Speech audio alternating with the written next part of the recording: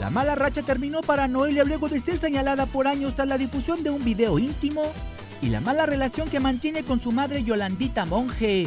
Actualmente la puertorriqueña es una mujer renovada enfocada en su carrera y en su matrimonio con el mexicano Jorge Reynoso. Me siento súper plena en estos momentos de mi vida, estoy súper en, en, mi mejor momento diría yo.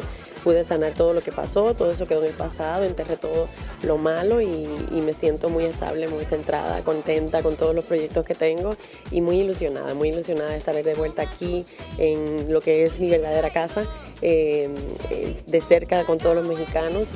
Otro de los proyectos que mantiene ocupada la intérprete de Candela es el lanzamiento de su línea de ropa en nuestro país. La línea de ropa va súper bien, tengo la línea online ya hace como seis meses, eh, noelicious.com y entonces vamos a estar abriendo tres, no, 10 eh, mini boutiques aquí en todo lo que es México, en diferentes locaciones. Estas prendas son perfectas para las mexicanas ya que están diseñadas para mujeres de todas las edades y complexión física. Corsets, todo lo que es lencería, eh, mini dresses, leggings, que yo he visto mucho legging y un poquito de ropa deportiva. Y confesó que las más emocionadas de la llegada de su línea de ropa a nuestro país son sus seguidoras mexicanas.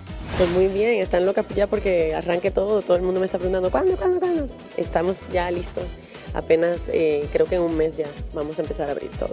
A la par de este proyecto, Noelia se prepara para una gira que recorrerá varios países. Voy a estar en diferentes ciudades de, toda, de todo México y vamos a estar yendo también a otros países de Latinoamérica hasta Argentina.